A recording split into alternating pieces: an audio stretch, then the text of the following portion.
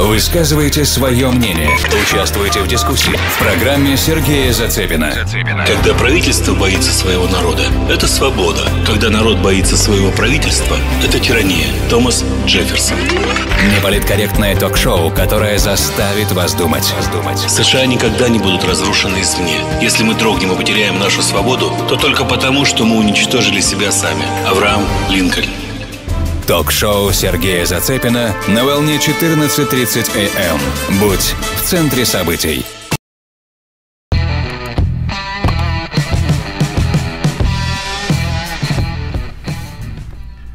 Еще раз добрый день, дорогие друзья. У нас в эфире неполиткорректное шоу Сергея Зацепина. Его ведущий я, Анатолий Червец. Его участники, все вы, которые позвоните по нашему номеру телефона в студии 847 400 5200. Ну или, конечно же, если вы выйдете на наш веб-сайт radionvc.com, а, наш канал в YouTube Radio NVC, ну и наша страничка Facebook, также Radio NVC. Ну и я думаю, что нас слушают на нашем радио э, в Портленде 1010 AM. Всем добрый день, всем привет. Надеюсь, у вас пока что день проходит нормально. У некоторых он уже, наверное, прошел. А, люди, которые живут в Израиле, в Европе, там уже вечер. Ну, а некоторые, которые живут на западном побережье, у них день вроде бы как бы в самом разгаре, и поэтому всем привет, давайте будем общаться. 847-400-5200. И сегодня э, тему, которую я бы хотел обсудить, это, конечно же, продолжение э, эпопеи с э, репортом Маллера, э, продолжение того, что происходит сейчас в Конгрессе США. И ну, в общем, вот эта вся так называемая вакханалия, которая принимает или имеет место быть. ну и, конечно же, если у вас есть какие-то другие предложения, какие-то другие темы, которые вы хотите обсудить, пожалуйста, мы всегда открыты к любым мнениям и предложениям. Главное, чтобы эти мнения высказывались в корректной форме. Поэтому еще раз 847 400 5200. Ну, а мы начинаем. Итак, так как э, все мы хорошо знаем, все вы хорошо знаете то, что, ну вот, сейчас э, ожидается все-таки э, от нашего генерального прокурора э, выдать на гора э, тот репорт, который он получил от специального прокурора Малора, вот у нас уже есть телефонный звонок. Добрый день. Говорите, пожалуйста. А, алло, здравствуйте. Здравствуйте. У меня э, э, к вам, скажем так, небольшая просьба. Могли бы вы пригласить теперь в эфир э, Ольгу Тайц? Вы, наверное, слыхали о ней. Э, она вела много лет расследований по поводу того, что Обама якобы родился не в Нью-Йорке, не в Соединенных Штатах, а в, а в Э, в Кении и о том, что он э, учился как иностранный студент и получал э, стипендию в нашем Колумбийском университете. И э, она много э, подала из, из э, малые суды и всегда ее игнорировали. Затем она последний иск подала в Верховный суд но уже более там 8 лет этот иск лежит на полке. Могли бы вы ее пригласить? Спасибо. А, я не знаю, спасибо вам большое. Я не знаю, наверное, если у нее есть а, на то время, а, пожалуйста, мы бы ее с удовольствием пригласили. То есть я, конечно же, поговорю с Сергеем, и мы обязательно этот вопрос обсудим. Такой вопрос, как, то есть то, что касается самого Обамы и его деятельности. Это, я думаю, останется актуальным на века. Ну, а пока мы продолжим. Значит, э, так как мы все ожидаем вот этот репорт, А, и, скорее всего, что ну, не получат демократы э, сатисфакцию от этого репорта. Почему? Потому что, что бы там в этом репорте не оказалось, это все равно уже будет не то, что они ожидали. Там не будет никаких обвинений в Калужин, там не будет никаких обвинений в препятствии правосудию. А, откуда мы это знаем? Well, хотя бы потому, что а, не было пред, предложено никаких обвинений никому, ни в администрации Трампа, ни самому Трампу по этим причинам. Поэтому мы уже знаем, что демократы, конечно же, это не воспринимают. Или не воспринимают за правду.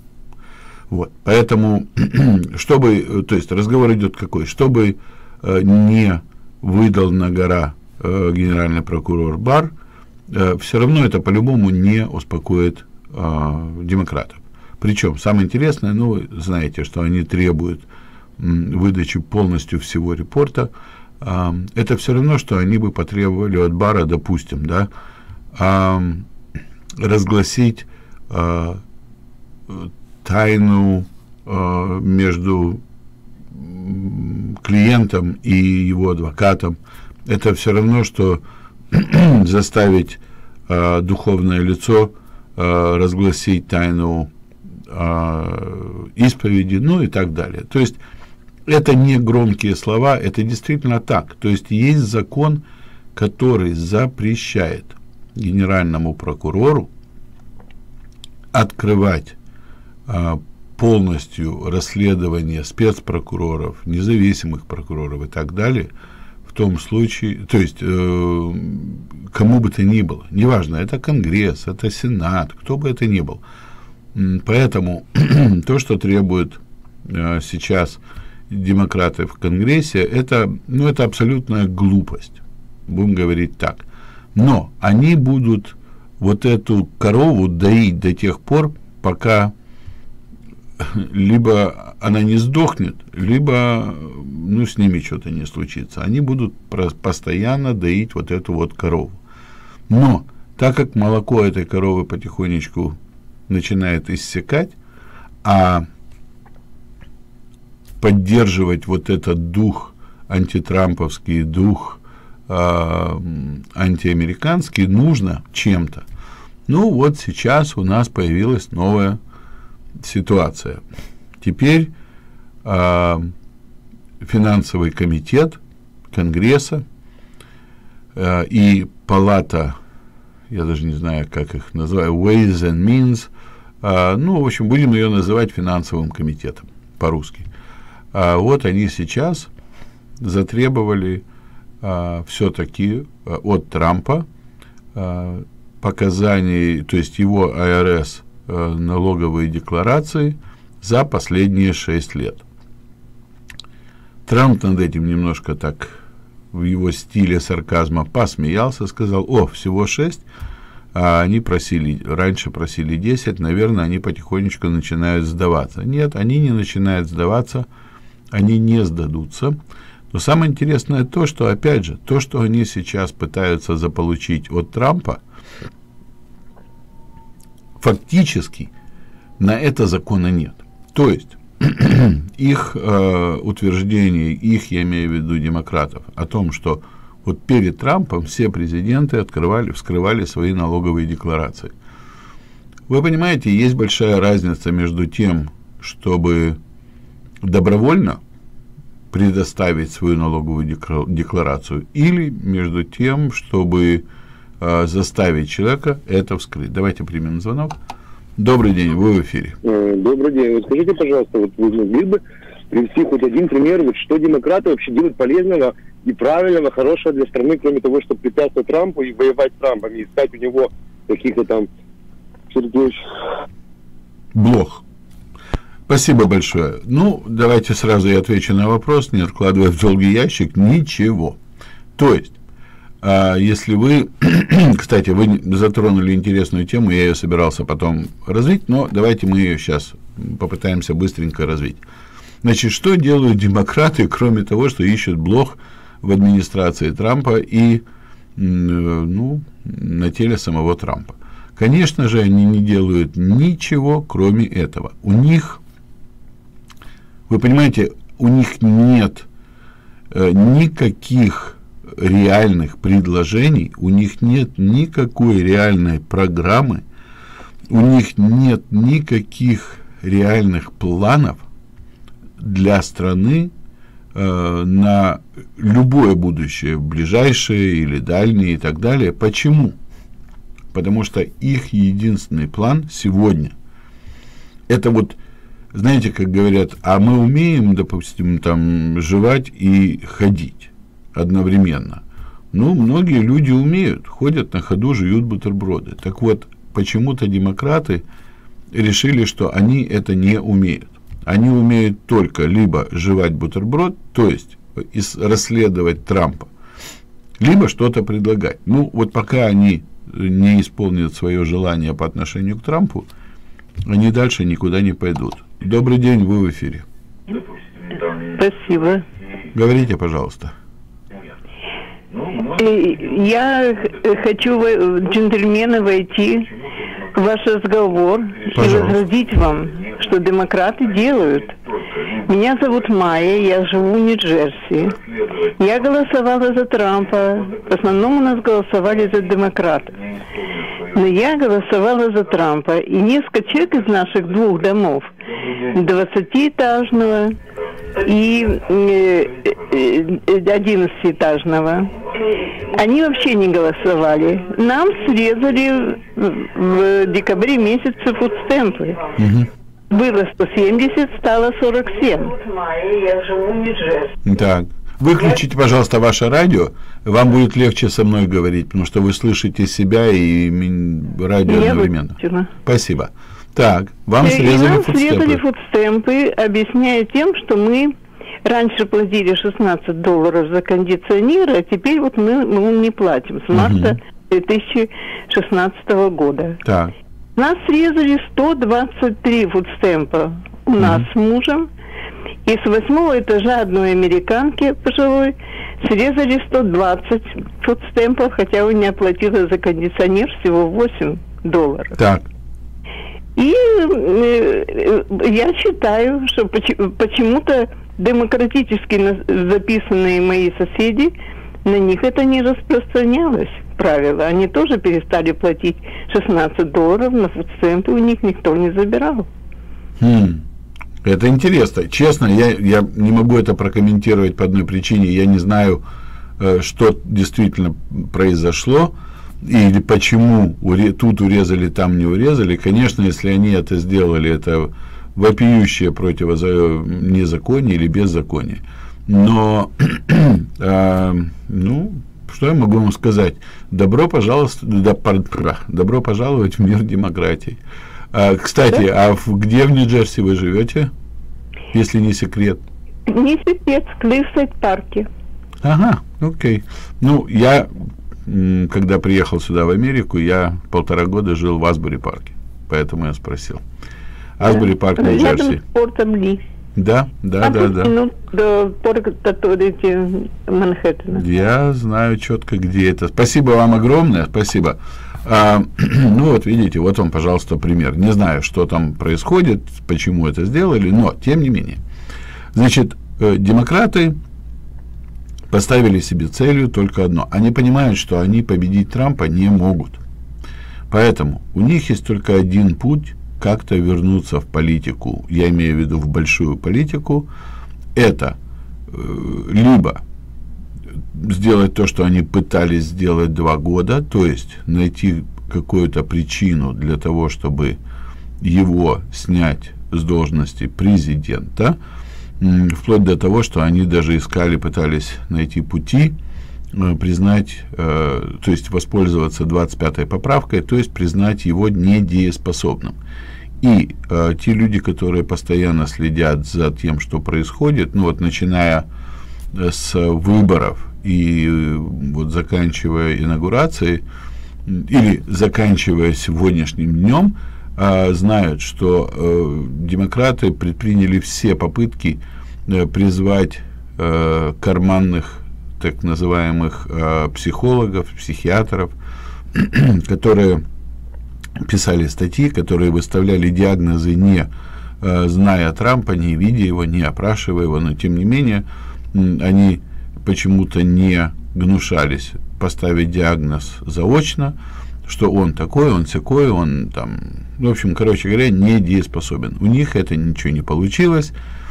Тогда они начали, то есть одновременно они начали расследование того, что происходило с Трампом, но опять же надеялись на то, что что-нибудь Малер все-таки накопает. Хотя те, которые э, поближе к кормушке, прошу прощения, демократической, те прекрасно знали, что тра, э, Малер ничего накопать не может. Но им это давало время, э, по крайней мере, вот поддерживать вот эту э, общественное мнение о том, что Трамп это негодяй, э, изменник Родины и так далее.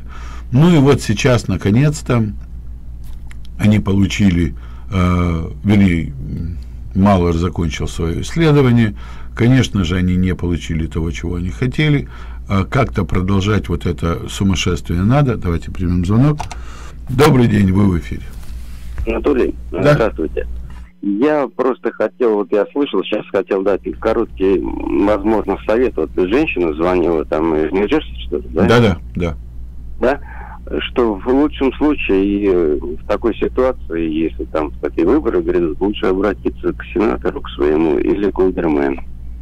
Ну да, в, да. В этом, в этом случае, потому что это единственное, что вот как-то, возможно, может помочь. А иначе там не пробить. Вы, вы знаете, я с вами полностью согласен. Единственная проблема, как обычно, то есть, как показывает практика, и это не в обиду сказано пожилым людям, но а, в основном в своей массе пожилые люди даже не знают, где находится какой-либо... Нет, ну, по крайней мере, они знают, где у них есть свои общинные центры, а общинный центр знает уже, кто и кому там принадлежит. Ну, это, вот. это замечательный вопрос, поэтому это действительно стоит, если... То есть, опять же, я не знаю, что там произошло. У нас в штате а, тоже сумасшедший дом происходит, мы только сегодня разговаривали... Да о делах наших скорбных. Да, о делах наших скорбных, поэтому у нас тоже какой-то идиотизм происходит. И, честно, никто, сам штат не может на это ничего ответить. Поэтому, ну, будем надеяться, что э, что-то все-таки э, выяснится. Спасибо. Кривая, кривая выведа, да? Да, да, да, да, что-то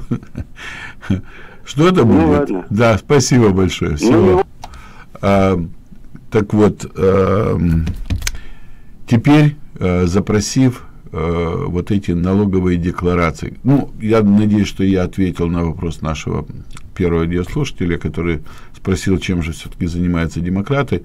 Они не занимаются ничем. У них нет ничего, что они сегодня могут предложить э, даже своим, своей базе. Почему? Потому что вот точно так же, как нас, я имею в виду республиканцев, консерваторов, все-таки приверженцев Трампа, точно так же, как нас обвиняют в том, что мы себе создали кумира и слепо следуем его доктрине, ну, по крайней мере, его, он пытается что-то сделать для нашей страны. Так вот, демократы не могут ничего даже этого предложить, хотя они постоянно э, пытаются уколоть Трампа и его администрацию вопросом, ну а что они, а что они ничего не могут сделать, а они, да, к сожалению, у нас так получилось, что республиканская партия настолько расколота, что, конечно, ничего невозможно сделать, даже имея большинство вот первые два года. Добрый день, вы в эфире, говорите, пожалуйста. Добрый день, я не сначала слушаю, скажите, вы затронете тему Венесуэлы?